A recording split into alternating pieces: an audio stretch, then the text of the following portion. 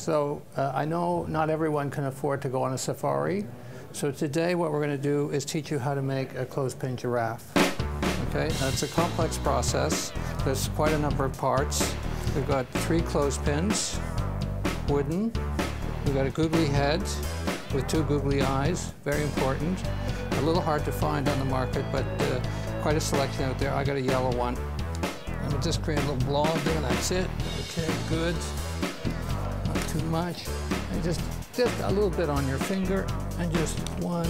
It's kind of a poo color, but you know, it's, it's, it's close enough, it's close enough. Now the great thing about the clothespins, here they act as the legs, but you turn them around and they become the ears. That's great, huh? Ah, now we're gonna put the, the neck on. You have to kind of balance it. Oh, gee. The real hard part is getting the, the, the balance to, so you gotta go in a little bit. No, that's not gonna work. That's the difficult part right there. Last but not least, we just need to add a little color to the legs. Okay, and there we have it, okay? Perfect.